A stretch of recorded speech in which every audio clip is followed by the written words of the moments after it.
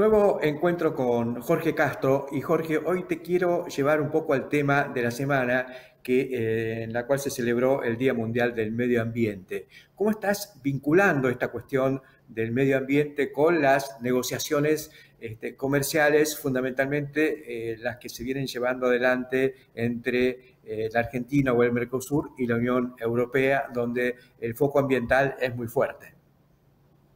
Así es. Mira, Héctor, en el mes, hace, el mes de agosto, el Mercosur recibió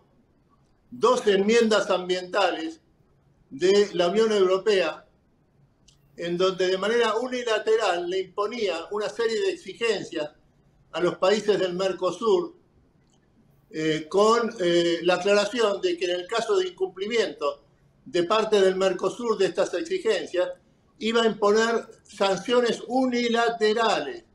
sin intervención para su discusión del el Mercosur en su conjunto ni ninguno de sus países especialmente afectados.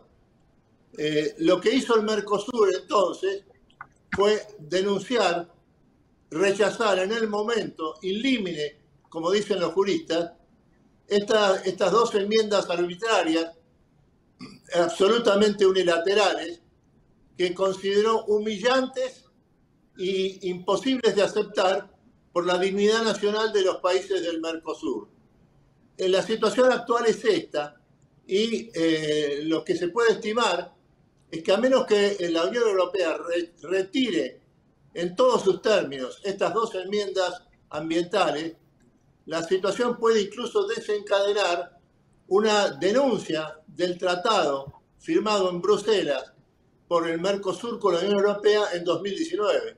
Es una situación extremadamente delicada, Héctor, que ocurre no solo en el contexto, como vos señalabas, de, eh, el Día Mundial del Medio Ambiente, sino cuando también está en juego una opción que se le ha presentado en materia de tratado comercial, que se le ha presentado a la Unión Europea por eh, la República Popular China y que implica también un tratado de inversiones para asegurar su carácter productivo y no meramente comercial.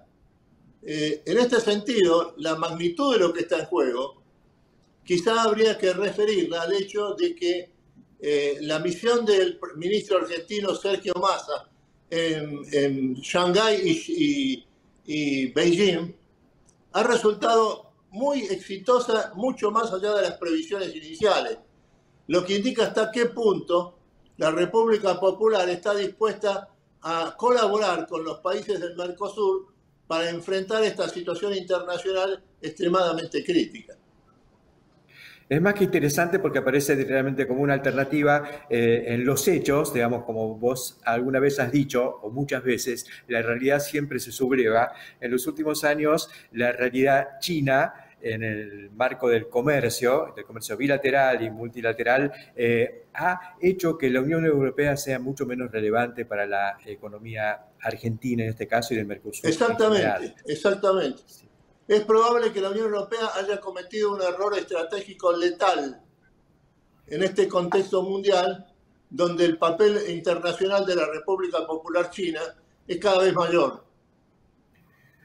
Más que aleccionador esto, y sé que es polémico, pero porque muchos este, desconfían o aparecen cuestiones colaterales vinculadas a la política o a la ideología, que este, tienden a eh, diluir o hasta denostar el relacionamiento este, comercial con China, cuestión de inversiones y demás, pero en concreto, y mucho menos, digamos, es políticamente correcto hoy quizá hablar de eh, lo beneficioso o lo positivo de la gira de masa, pero la realidad es la realidad y yo creo que si hay cosas que permiten un avance en esta este, relación entre el Mercosur y concretamente entre Argentina y China, creo que es este, saludable para nuestra perspectiva futura.